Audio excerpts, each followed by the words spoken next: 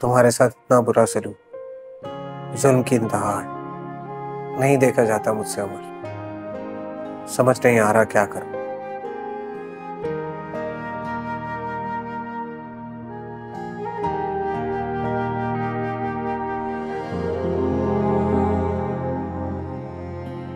जहीन, तुम अमल के रूम में गए थे। तुम्हें मेरा इंतज़ार करना चाहिए था।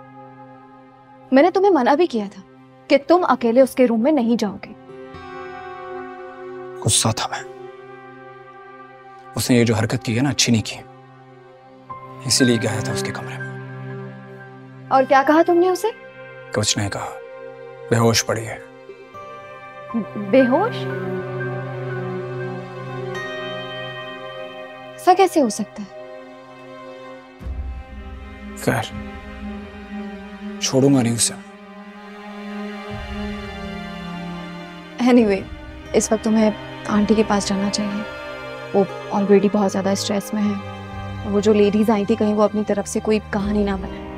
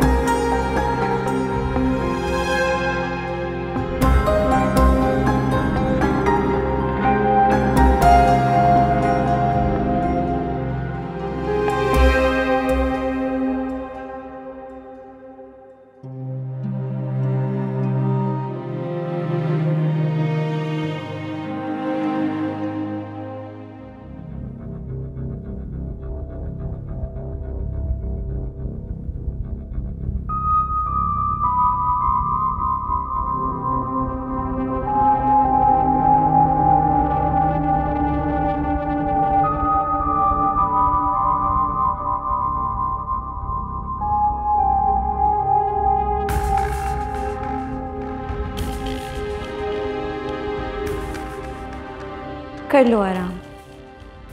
जी भर कर आराम करो। क्योंकि अब तुम्हारा वो हशर होने वाला है कि तुम ज़िंदगी भर याद रखोगी। मैं तुम्हारा जीना हराम कर दूँगी। तुम्हें यहाँ से भगाकर ही दम लूँगी। देखा तुमने? मुझसे टक्कर लेने का अंजाम मैंने तुम्हें कहीं का नहीं छोड़ा। ज़िंदा लाश बनी पड़ी हो तुम। ज़िंदा लाश।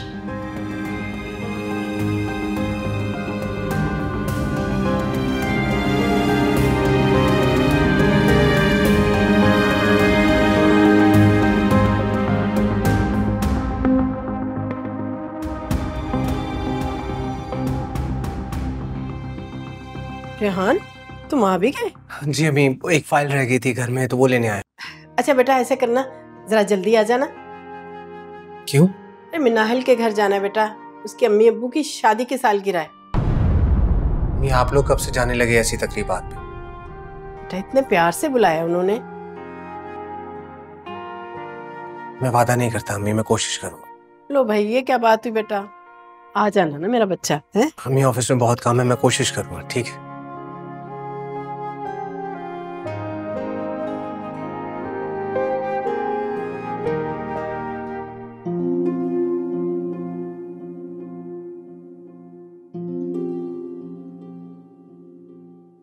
तो सोनिया, जब से तुम्हारी बेटी हमारे घर में शादी करके आई है, मैंने उसे अपनी बेटी की तरह समझा है।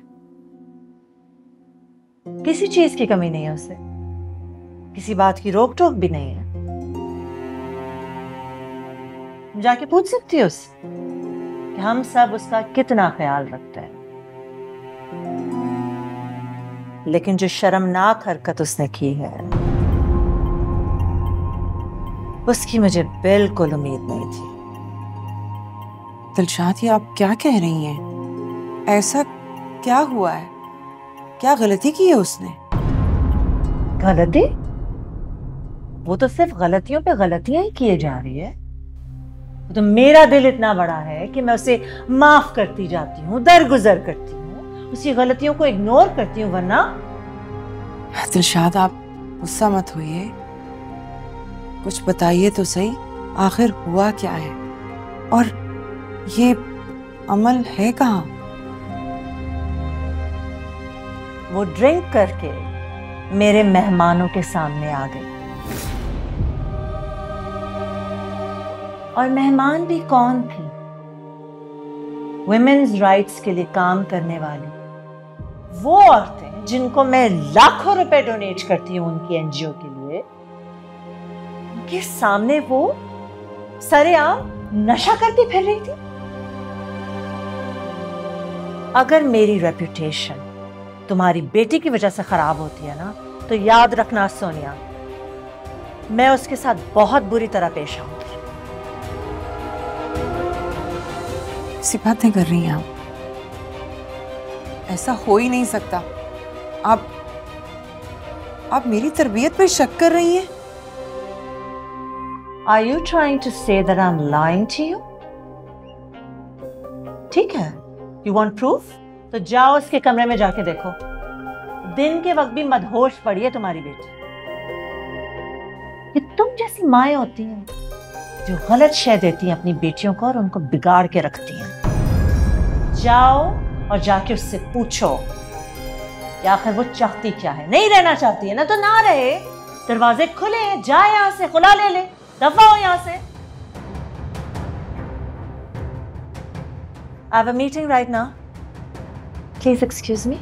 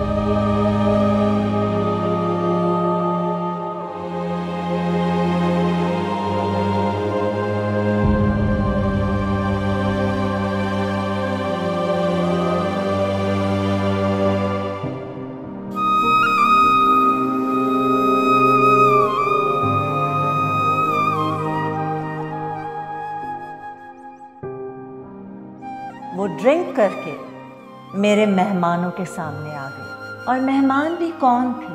वुमेन्स राइट्स के लिए काम करने वाली। वो औरतें जिनको मैं लाखों रुपए डोनेट करती हूँ उनकी एनजीओ के लिए, के सामने वो सरेआम नशा करती फिर रही थी।